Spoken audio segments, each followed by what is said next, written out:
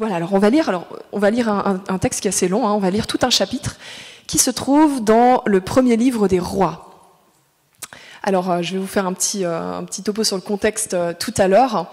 mais grosso, alors voilà, on, va, rentrer tout de suite dans la, dans la lecture et on va faire le, le contexte après.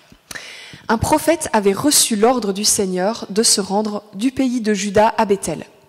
Il y arriva au moment où Jéroboam était occupé à faire brûler un sacrifice sur l'autel. Il prononça cette parole du Seigneur contre l'autel. Autel, autel, écoute ce que déclare le Seigneur. Un garçon va naître dans la famille de David, il s'appellera Josias. Sur toi, autel, il sacrifiera les prêtres des lieux sacrés, là où ceux-ci faisaient auparavant brûler des sacrifices. Sur toi, on brûlera même des ossements humains. Le prophète annonça encore ceci. L'autel va se briser, et les cendres grasses qui s'y trouvent vont tomber à terre. Vous aurez ainsi la preuve que c'est bien le Seigneur qui parle. Lorsque le roi Jéroboam entendit ce que le prophète disait contre l'autel de Béthel, il tendit le bras par-dessus l'autel et cria Arrêtez cet homme Mais son bras demeura tendu et paralysé, de sorte qu'il ne pouvait plus le ramener à lui. Au même moment, l'autel se brisa et les cendres grasses qui étaient dessus tombèrent à terre, conformément à ce que le prophète avait annoncé de la part du Seigneur. Aussitôt le roi dit au prophète, Je t'en prie, supplie le Seigneur ton Dieu de me pardonner et de guérir mon bras. Le prophète pria le Seigneur, et le bras du roi fut complètement rétabli. Alors le roi invita le prophète en ces termes. Viens avec moi dans la maison, allons manger quelque chose, ensuite je te ferai un cadeau. Mais le prophète répondit au roi, Même si tu me donnais la moitié de ta fortune, je n'irai pas chez toi. Je ne mangerai pas une miette de pain et je ne boirai pas une goutte d'eau en ce lieu. En effet, le Seigneur m'a ordonné ceci, tu ne mangeras rien, tu ne boiras rien, et pour rentrer chez toi, tu passeras par un autre chemin que celui que tu auras suivi pour aller à Bethel. Il repartit donc par un autre chemin que celui par lequel il était venu. Or, il y avait un vieux prophète qui vivait à Bethel.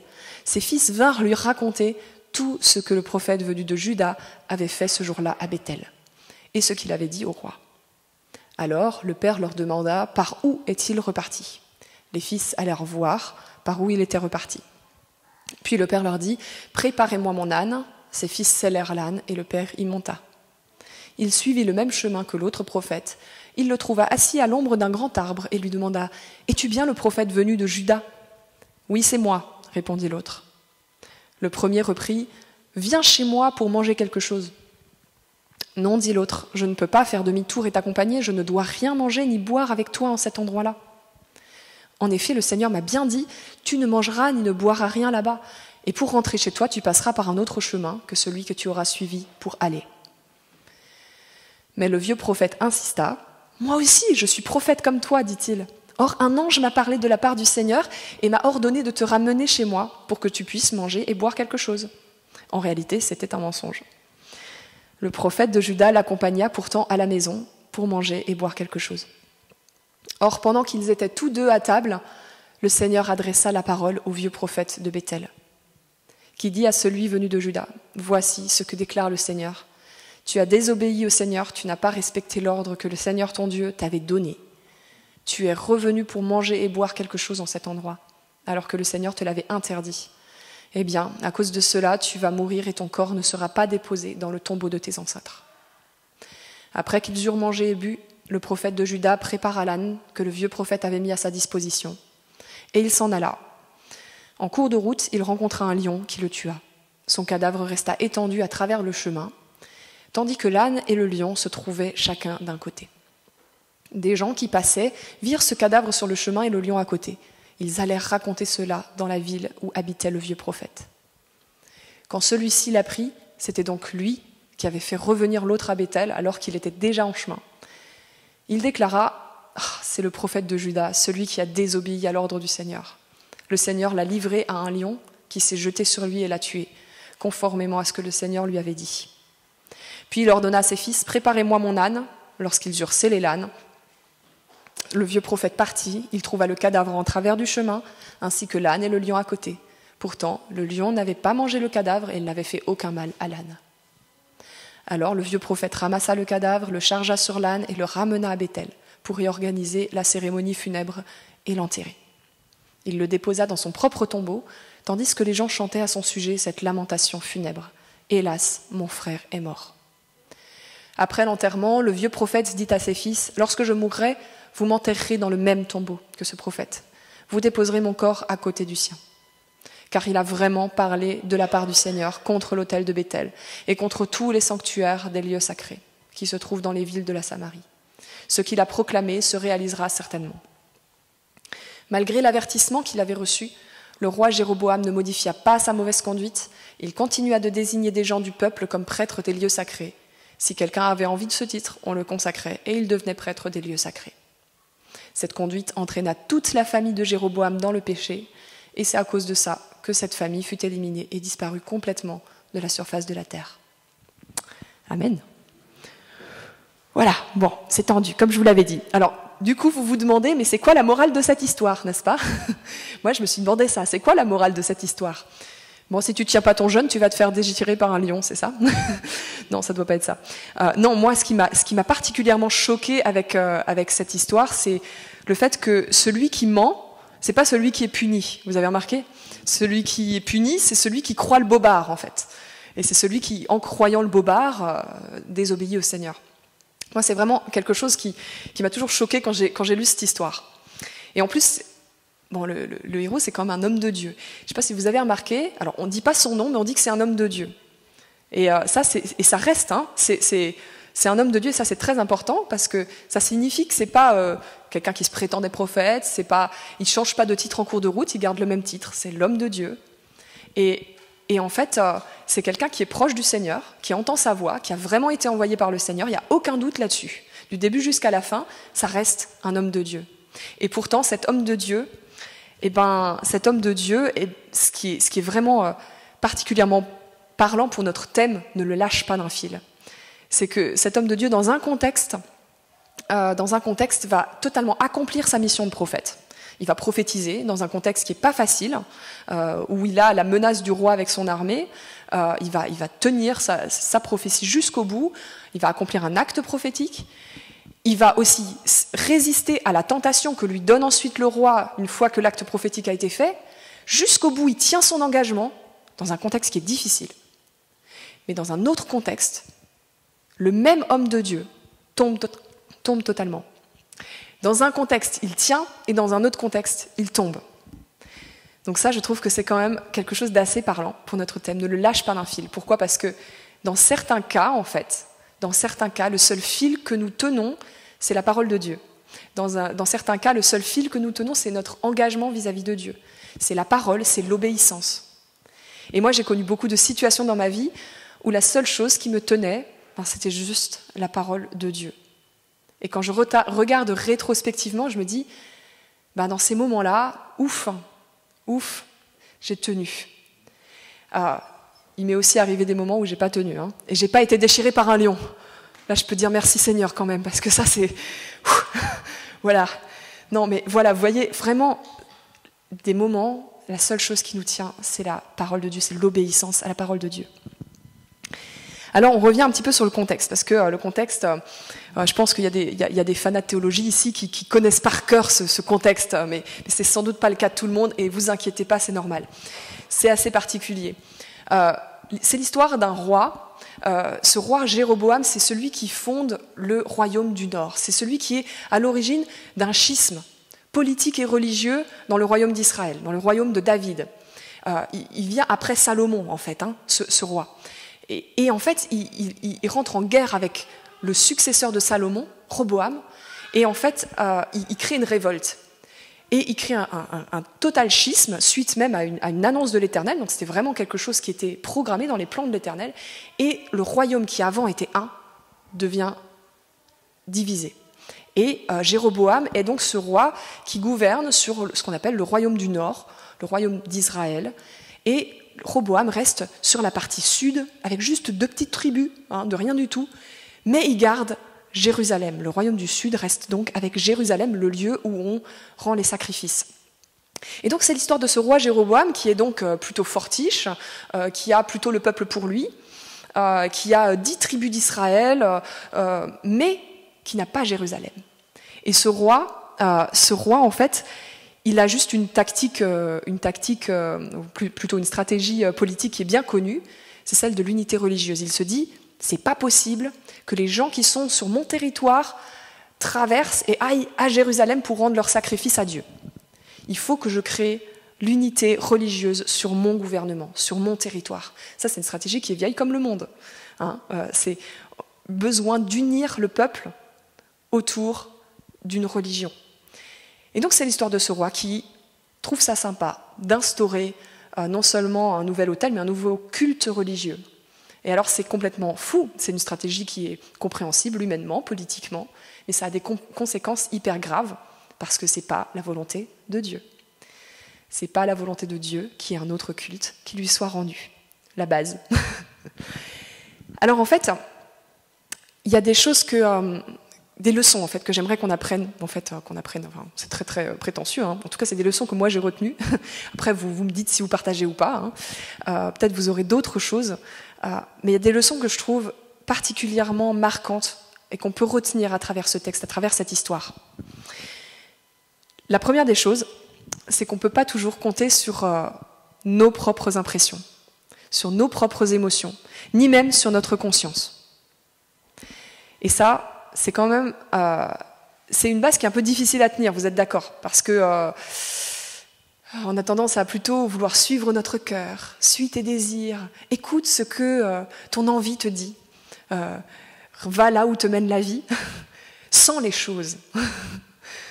voilà, on est, on est, vraiment dans ce discours-là, surtout dans notre époque. On est vraiment dans, dans l'ère du je ressens les choses et donc c'est ça que je dois faire. Eh bien, parfois, Dieu utilise nos émotions et parfois, ça nous aide à comprendre des situations. Et parfois, ce n'est pas suffisant. On ne peut pas se fier entièrement à nos émotions, à nos impressions et même à notre conscience et même à notre jugement sur une situation. Honnêtement, je ne sais pas ce que vous, ce que vous pensez de vous-même. Moi, je pense de moi-même que j'ai plutôt un bon discernement. voilà. Je, pense que vous pensez aussi que vous avez globalement peut-être un, certain discernement. Vous arrivez à juger des situations. Euh, euh, moi, j'ai l'impression que je, juge pas mal des situations. Et pourtant, euh, il y a quand même des moments où je me suis complètement plantée. Il y a quand même des moments où je regarde en arrière et je me dis, ben, j'étais absolument sûre de mon coup, j'étais absolument sûre de, de, la confiance que j'ai accordée à telle personne et je me suis plantée. Voilà. Donc, même avec même des gens qui ont une, extraordinaire, euh, euh, un extraordinaire discernement, qui arrivent à sentir les gens, etc., qui sont des super empathes, eh ben, on ne peut jamais, jamais se fier totalement à ce que nous ressentons, à notre jugement d'une situation, tout simplement parce que Dieu est Dieu. Et il y a des euh, circonstances où notre conscience est altérée. Il y a des, des endroits, des moments dans lesquels on n'est plus tout à fait les mêmes, où on est dans, en sphère inconnue, et on ne réagit pas de la même manière. Et on ne sait pas forcément pourquoi. On peut être rattrapé par sa nature dans ces moments-là. On peut être rattrapé par une erreur dans ces moments-là. Vous avez remarqué, le, prophète, ben, il se protège super bien et il tient super bien sa ligne avec le roi. Pourtant, ce n'est pas une situation qui est hyper facile. Elle est intimidante. Elle est, euh, voilà, euh, il y a plein de gens qui auraient, euh, qui auraient flanché en fait dans ce genre de circonstances. Mais quelque part, pour ce prophète, c'est presque trop gros en fait. Voilà, c'est tellement gros. Euh, le roi qui vient avec euh, d'abord sa puissance militaire et ensuite avec son, espèce de, chantage, voilà, d'intimidation euh, positive. Voilà, je vais t'offrir un, cadeau, je vais viens manger chez moi, etc. Eh bien ça, c'est trop gros. Le prophète, il se laisse pas avoir. Il garde son cap. Il y a nos problèmes. Il ne se laisse pas avoir par le roi, mais il se laisse avoir par le religieux. C'est chaud quand même. Il se laisse avoir par le titre religieux, par celui qui est le prophète, quoi. Mais moi aussi, je suis prophète, mec. On se comprend tous les deux. Et ben oui, le gars, il s'y est, laissé prendre. Je sais pas, j'imagine ces prophètes un peu solitaires. Oh, enfin un poteau, quoi. Ouais, ah, je vais pouvoir. Euh, oh, bah si Dieu te l'a dit, après tout voyez, c'est non, mais je, ne sais pas, je connais pas les, les émotions qu'il y avait, mais j'imagine, vous voyez, si moi j'étais à la place, enfin un poteau, quoi. Non, ben, il se laisse avoir totalement, il se laisse totalement avoir par le religieux. Et il y a tellement de circonstances dans notre vie où on sait, on sait euh, que le danger vient d'un endroit, mais on ignore qu'il peut venir d'un autre. On, on, est complètement blindé contre certaines choses ah mais moi de toute façon les mécanismes, les, dynamiques de séduction, je les repère à des kilomètres, ça vraiment, c'est bon. Mais boum, je me laisse avoir par un chantage un petit peu plus vicieux, un petit peu qui joue un petit peu avec l'orgueil, mais de manière subtile. Vous savez, tellement de fois on se laisse avoir parce qu'on croit qu'on est blindé d'un côté et en fait on se laisse avoir de l'autre côté. C'est l'exemple des extrêmes en fait. Moi j'ai il y, a une expérience de, de, qui est très psychologique pour le coup hein, que, que, que j'ai faite et que j'ai constatée. C'est par exemple l'enfant qui grandit et qui regarde l'éducation qu'il a reçue et qui se dit bon bah moi je vais vraiment pas faire comme ça. Jamais de la vie je vais faire comme ma mère. Jamais de la vie je vais faire comme mon père. Parce qu'ils ont fait des erreurs et je vais pas faire les mêmes erreurs. Voilà. Donc, euh, par exemple, si j'ai eu euh, une éducation à la dure, eh ben moi, je vais être hyper, hyper cocon avec mon enfant, voilà. Ou l'inverse, j'ai eu une éducation trop fusionnelle, j'avais zéro limite, ben je vais avoir, je vais donner un petit peu des cadres à mes enfants.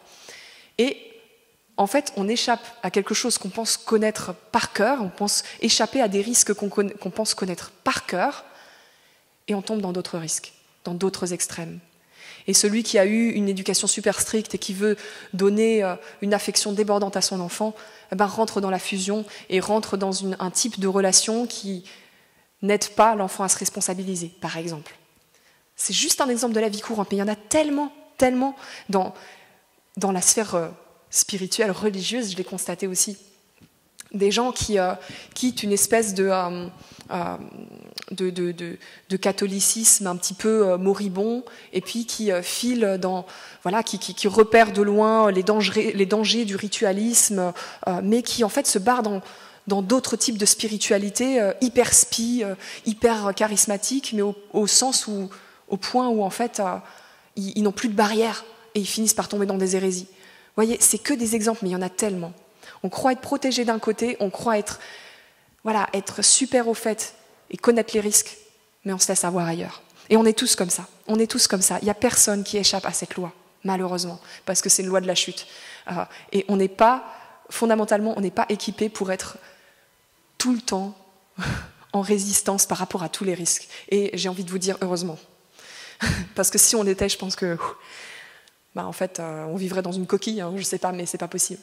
Donc on a fondamentalement besoin de rester accroché de temps en temps à l'obéissance à la parole de Dieu. On a fondamentalement besoin de rester accroché à Dieu tout le temps, tout le temps, tout le temps, dans toutes les circonstances. La deuxième des leçons que, j'aimerais qu'on retienne de ce texte, c'est qu'on ne peut jamais être euh, totalement sûr des intentions de quelqu'un d'autre. Euh, de même qu'on ne peut pas être sûr de, ce qui se passe dans notre propre cœur et qu'on se laisse avoir, euh, tantôt d'un côté, tantôt de l'autre. Et bien de la même manière, on ne peut jamais être sûr des intentions de quelqu'un d'autre. Et euh, ça, euh, indépendamment, même s'il y a une super fonction, si l'autre a une super fonction comme prophète, comme pasteur, comme président de la République, euh, voilà, je ne sais pas, on ne peut jamais être sûr des intentions d'une autre personne on, pourrait faire plein d'hypothèses sur les intentions de ce prophète, ce vieux prophète qui est allé à la rencontre euh, de l'homme de Dieu. On pourrait faire plein d'hypothèses, et plein d'hypothèses ont été faites. Il y en a certains qui ont avancé la, thèse de la jalousie, tout simplement, de se dire, euh, voilà, en fait, ce prophète-là, il était, euh, bah, vu qu'il était un petit peu, il avait plus, il entendait plus la parole de Dieu, et là, il voit, il entend qu'il y en a un qui est super, qui fait des super actes prophétiques, et puis, eh ben, il est un peu jaloux, et donc, hop, il se dit je vais essayer d'aller le tenter un peu. Euh, voilà, c'est une thèse. D'autres thèses, c'est de se dire simplement le gars, euh, il s'est dit bon bah il a, manifestement une certaine onction, ce gars-là. Euh, je voudrais juste avoir une discussion avec lui, quoi. Je voudrais juste en avoir un petit peu aussi. on n'en sait rien. on n'en sait rien du tout. Peut-être que c'était quelqu'un qui était juste là mandaté pour tendre un piège. On ne sait pas. On ne sait pas quelles sont les intentions de cette personne, mais on sait qu'il a réussi à faire tomber l'homme de Dieu. Et ça, c'est hyper dommage. Alors j'aimerais du coup qu'on parle de quelque chose qui, euh, qui se retrouve beaucoup dans, nos sphères religieuses, dans nos sphères euh, d'église. C'est une maladie assez répandue en fait. Euh, je voudrais pas vous inquiéter, mais voilà, c'est le diomadisme. Vous connaissez le diomadisme Non? Le diomadisme, non? Mon frère, ma sœur, Dieu m'a dit que tu devais épouser cette personne. Mon frère, ma sœur, euh, euh, Dieu m'a dit que euh, il y a une souffrance dans ton cœur. il faut que tu viennes prier chez moi pour que, je puisse te dire la parole d'autorité qu'il faut pour ton, ta souffrance. Vous connaissez cette, maladie? Alors en fait, la maladie du dieumadisme, c'est quelque chose qui touche surtout, qui peut, voilà, qui touche essentiellement des personnes en, quête de, puissance, en quête de pouvoir, en quête de légitimité, de reconnaissance aussi, mais pas seulement. Mais pas seulement, ça peut aussi toucher d'une manière plus subtile des personnes qui ont juste de très bonnes intentions, juste une bonne volonté, juste une envie de dire Ah, mon frère, là, il est, là, il est, ça fait des, semaines et des semaines qu'il est dans la repentance, il est à genoux, il est par terre, il est persuadé qu'il a, qu'il mal agi auprès de Dieu et qu'il faut qu'il, se repente, mais là, ça fait trop long, il faut vraiment. Je vais l'encourager, allez, je vais. Écoute, je ressens vraiment dans mon cœur que le Seigneur m'a dit relève-toi, mon frère, relève-toi, ça suffit maintenant. Euh, Dieu te guérit, Dieu te et, puis et puis tu n'es pas le seul responsable dans cette histoire, tu sais l'autre euh, il est responsable aussi. Ok, c'est très sympa. Ça vous est déjà arrivé de consoler quelqu'un comme ça? Non? Hein? Moi ça m'est arrivé hein de consoler quelqu'un comme ça. Ok, mais est-ce que tu es absolument sûr que c'est Dieu qui t'a dit ça Est-ce que tu en es absolument sûr que Dieu a envie de relever maintenant cette personne Ou est-ce que tu es, sûr qu'en fait, euh, il ne faut pas qu'il passe par une grosse phase de repentance eh, C'est difficile quand même. C'est chaud comme question.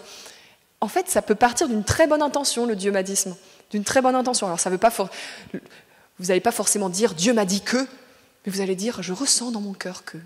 Ah, je reçois que. Voilà, et vous allez prendre en fait une autorité qui n'est pas, la parole de Dieu en fait. C'est tellement tentant en fait. On voudrait tellement encourager nos frères et sœurs, on voudrait tellement leur donner des paroles de consolation, on voudrait tellement leur dire des trucs euh, positifs tout le temps. Et en fait, bah là on le voit bien avec cette histoire. Hein. Euh, parfois, euh, nos vies, elles passent pas que par du positif. Parfois, elles passent par des grosses phases de repentance, des grosses phases où on est face au tombeau, comme on le disait la dernière fois. Et on est obligé de passer par là. On est obligé de faire des deuils, ou on est obligé de, de, de, se battre contre nos propres idoles. Euh, et on est obligé de passer par ces phases-là. Et euh, là, euh, le dieu madisme, il peut faire des ravages.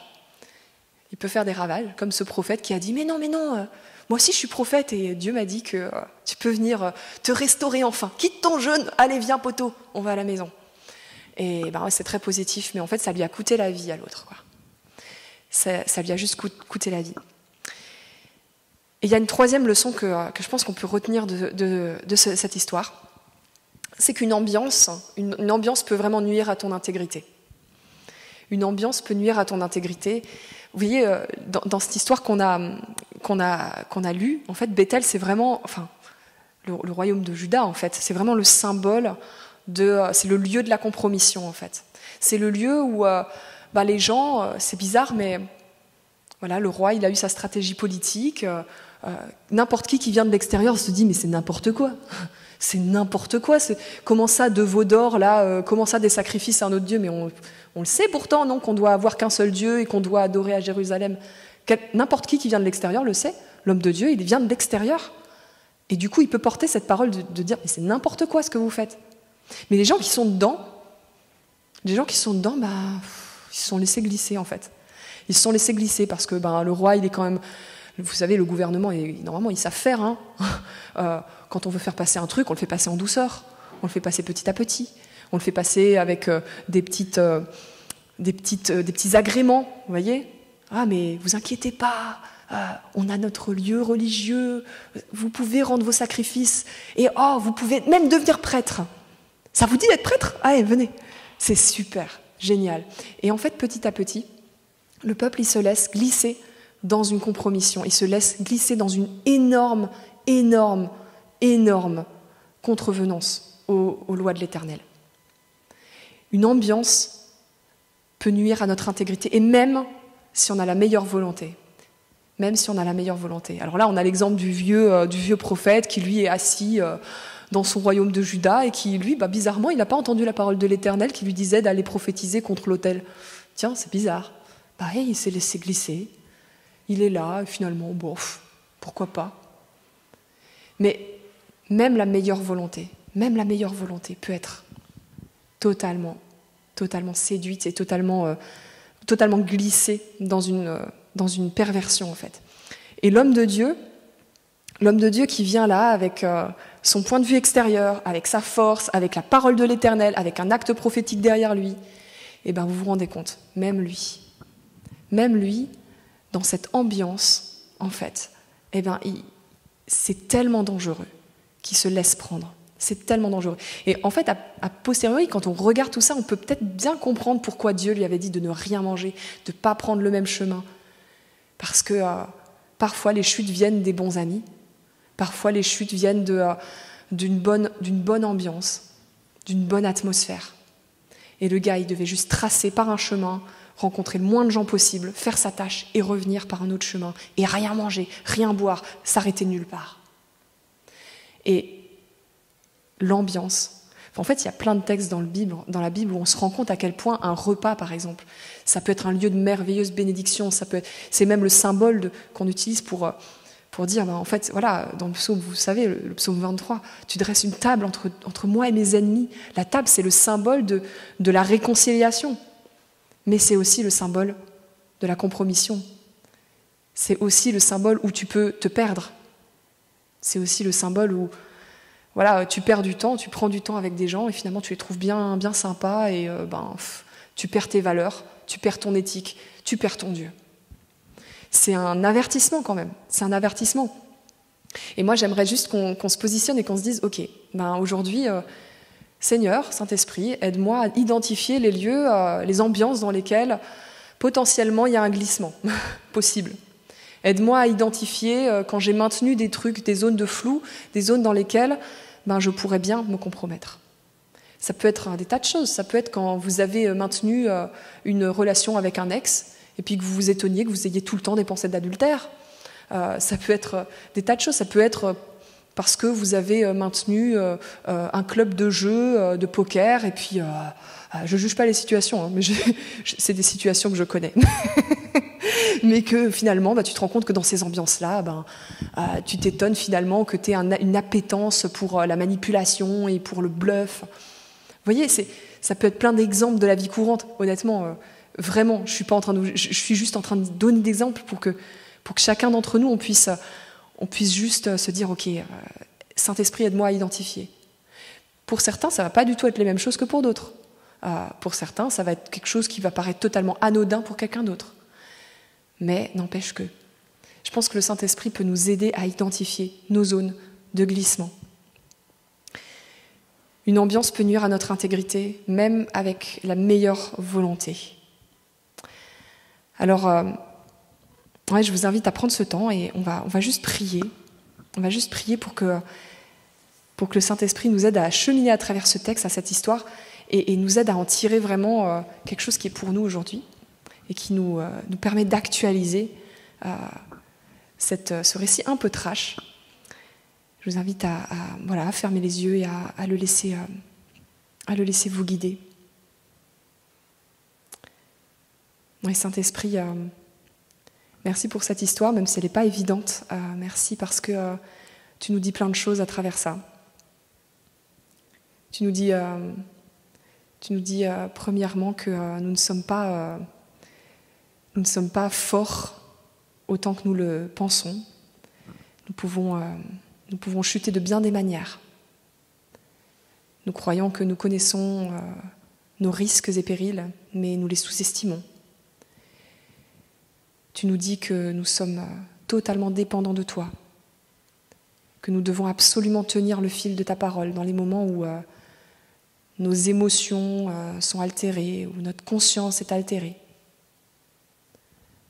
Tu nous dis, euh, tu nous dis que nous devons être attentifs à tout ce qui peut, euh, à tout ce qui peut nous faire glisser notre, notre, notre éthique, nos valeurs, nos engagements vis-à-vis de toi. Seigneur, euh, maintenant je, voudrais vraiment me tourner vers toi et, te dire merci, merci de nous avoir sauvés. Merci euh, d'avoir donné ton sang et merci euh, de nous permettre de, constater toutes les choses auxquelles nous avons échappé. Aujourd'hui, ici, sommes, nous sommes tous là. Nous n'avons pas été dévorés par un lion parce que nous avons désobéi, mais nous avons été amenés par le Saint-Esprit justement à une juste repentance. Nous voulons te remercier parce que c'est c'est toi qui as créé cela et nous ne sommes aucunement, aucunement responsables de ça. Alors nous voulons euh, être reconnaissants pour ça et, simplement euh, demander encore des occasions de nous ajuster devant toi. Demander encore des occasions pour être plus proche de toi, pour comprendre mieux ta parole, pour mieux y obéir, pour mieux nous laisser guider par toi. Nous voulons demander plus euh, de lieux saints dans notre vie. Et nous voulons te demander de réduire les lieux de compromission voire de les supprimer. Nous voulons te demander euh, simplement euh, d'être à toi pleinement. Donne-nous cet honneur de t'appartenir pleinement. Donne-nous cet honneur de pouvoir dire que nous sommes des hommes, des femmes de Dieu, qui ne chutent pas ou qui ne chutent pas gravement, et qui se repentent surtout, et qui reviennent à toi avec le cœur plein d'allégresse Merci Seigneur pour qui tu es et merci pour ton Saint-Esprit. Amen.